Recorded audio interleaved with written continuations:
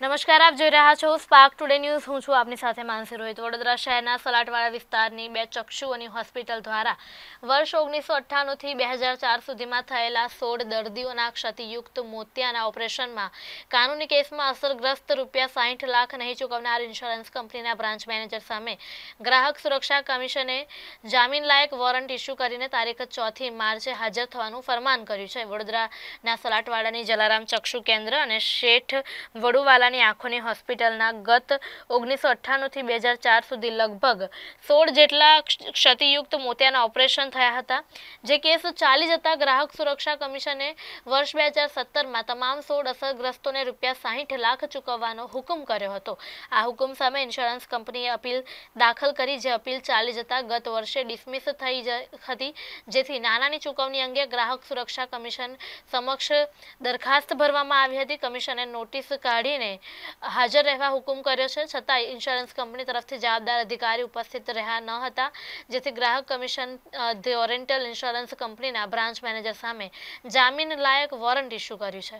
ઓરિયન્ટલ insurance company જે સરકારી company કહેવાય, ચાર સરકારી કંપનીમાંથી મુખ્ય કંપની છે, એના જે મેનેજર છે કારેલીબાગ શાખાના, એના ઉપર વીસ હજારનો બેલેબલ વોરંટ કાઢીને ગ્રાહક કોર્ટે પોલીસ કમિશનરને વોરંટ મોકલેલું છે કે એમને વીસ હજારનું બેલ બેલ લઈ અને ચાર તારીખ અથવા એના પહેલાં અહીંયા હાજર કરવા.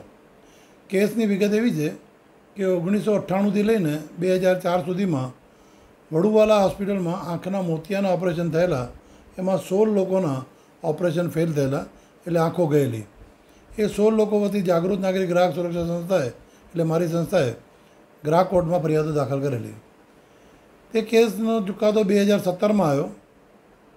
એક લાખ ચુમ્માલીસ હજાર એક આંખના અને વ્યાજ અને ખર્ચ સાથે કેસ મંજૂર થયેલા, ફરિયાદો મંજૂર થઈ. ડૉક્ટરો જેણે ઓપરેશન કરેલા, એમણે કેસ ચાલતા દરમિયાન એવી અરજી આપી કે અમારું ઇન્સ્યોરન્સ છે, જો અમારું કોઈ વળતર ચૂકવવાનું આવે, તો ઇન્સ્યોરન્સ કંપની ચૂકવશે, એને પક્ષકાર બનાવો. અમે કન્સેન્ટ આપી કે અમને તો વળતર વડુવાલ આપે કે ઇન્સ્યોરન્સ કંપની આપે. અમને તો સરખું જ છે. એટલે ઇન્સ્યોરન્સ કંપની ઓર્ડર બી એવો થયો કે ડૉક્ટરની નેગ્લિજન્સ પૂરું થઈ એના વતીથી ઇન્સ્યોરન્સ કંપનીએ પૈસા ચૂકવી આપવા બે હજાર સત્તરમાં હુકમ થયો. બે હજાર ઓગણીસ સુધી પૈસા ના ભર્યા. અમે લોકો દરખાસ્ત દાખલ કરી.